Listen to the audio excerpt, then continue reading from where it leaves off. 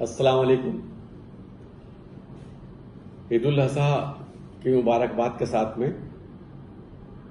میری یہ خواہش ہے کہ ہم غور کریں کہ عید الاضحیٰ کا کیا مقصد ہے اور کیا مطلب ہے۔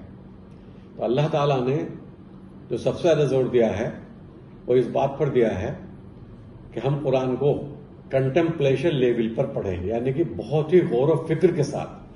اگر ترجمے سے کام چلتا تو ظاہر ہے پھر اللہ تعالیٰ کہتا ہے اس کا ترجمہ بہت ہے، آپ غور مت کریں، جو ترجمہ میں نے کیا ہے، اس کو آپ سمجھیں اور اس کو عمل کریں۔ مثال کے طور پہ اب اب یہ صورت پڑھتے ہیں قرآن کی، تو اس میں ہے سورہ القوثر ایک سو آٹھ کی صورت ہے۔ اس میں تین آیتیں ہیں، ایک رکومہ ہے یہ۔ تو اس میں کہا ہے اللہ نے، انا تو کل کوسر فصلی ربی کا ونہر انا شانی کا ہو لبتر مطلب میرا خیال ہے شارٹیسٹ آیت صورت ہے یہ، قرآن کی۔ لیکن اس میں بڑی گہری بات کہی گئی ہے جب رسول پاک صلی اللہ علیہ وسلم کے دو بچے تھے، قاسم اور ابراہیم، ان کا انتقال ہو گیا تو لوگ ان کے مذاق اڑانے لگے کہ یہ تو جڑ کٹا ہے، اس کی تو کوئی ویلیو نہیں ہے یہ نبی بتاتا ہے، اس کے تو بچے ہی مر گئے ہیں۔ ناؤز باللہ جب یہ باتیں ہو رہی تھی تو تب یہ آیت بڑی اہم آیت اتری۔ تو اس میں کہا گیا کہ ہم نے تمہیں کوثر دے دیا، خیر قصیر دیا۔ یعنی کہ ویلنس دی ہم نے تمہیں۔ تمہارا بھلا ہوگا دنیا میں اور تم اوتھانٹک نبی بنو گے۔ مقام محمود آپ کو حاصل ہوگا۔ تو جو کسی نبی کو نہیں ہوا۔ تو یہ ایک بہت بڑی بات تھی جو اس میں بیان کی گئی۔ اور اس میں اگلی جو بات کہی گئی، فصل ربی کا پنہر بس ہم نے اپنے رب کے لیے نماز پڑھو اور قربانی کرو۔ اس کا ترجمہ یہ ہے۔ بے شک تمہارا دشمن ہی بے نام نشان ہے۔ تو اس وقت تو بے نام نشان نہیں تھا، لیکن وہ بعد میں ہو گیا۔ تو اس میں یہ کہا گیا کہ نماز پڑھو اور قربانی کرو۔ تو انسان پانچ ٹائم روز نماز پڑھتا ہے اور پانچ ٹائم قربانی نہیں کر سکتا۔ اور شروع میں جو ترجمے یا ایکسپلیشن دیکھنے میں آئے ہیں لوگوں کے، ابن عباس کے ہیں یا دیگر لوگوں کے ہیں، تو اس میں یہاں لکھا گیا ہے کہ اپنے آپ کو کنٹرول کرو یعنی کہ اپنی جسم پر، اپنے نفس پر قابو رکھو۔ اور اپنے کو پیشنس بناؤ۔ مطلب ٹالرنس پیدا کرو اپنے میں۔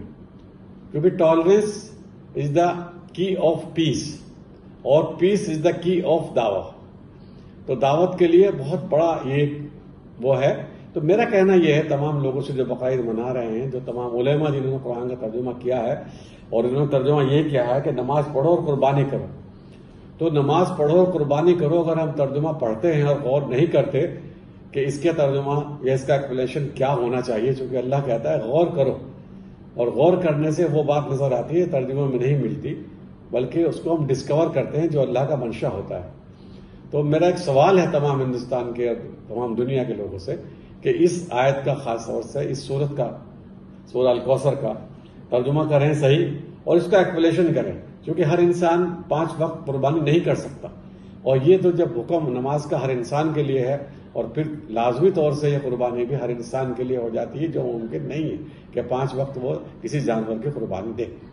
تو اس کو علماء غور کریں اور اپنے اپنے ترجموں میں ترمیم کریں اور بتائیں کہ کیا اس کا سہل راستہ ہے۔ مثال کے طور پہ ابھی کئی عالموں نے بتایا کہ جو یہ معاملات آئے تھے، جنگ کے بارے میں جو قرآن میں آیتیں آئی ہیں، یہ کنٹمپریری تھی، اس زمانے کے لیے تھی، آج نہیں ہے۔ تو آج مثال کے طور پہ قرآن میں آیت ہے اس میں کہا گیا کہ ان لوگوں کے لیے وہ خدا کے نزدیک ہوتے ہیں، وہ جو اللہ کی راہ میں لڑتے ہیں۔ لیکن آج علماء نے بتایا کہ نہیں، جو لڑتے نہیں، جو خدا کی راہ میں، جو خدا کی راہ میں یعنی کہ خدا کی راہ میں دعوت کا کام یعنی کہ لوگوں کو کرشن پلان آف گوڈ بتاتے ہیں یا اللہ کے نزدیک لاتے ہیں، تو ایسے لوگوں کو اللہ تعالیٰ اپنا محبوب بناتا ہے۔ تو اس جو نماز پڑھو اور قربانی کرو، یہ ترجمہ جو قرآن میں ہے نہ تو نہ کل کو فصلی رکھنے کا منحط اس کا۔